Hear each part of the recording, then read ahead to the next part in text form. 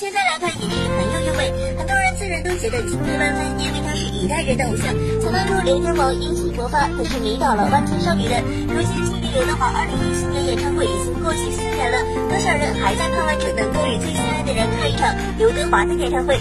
近些年刘德华都在忙碌于电影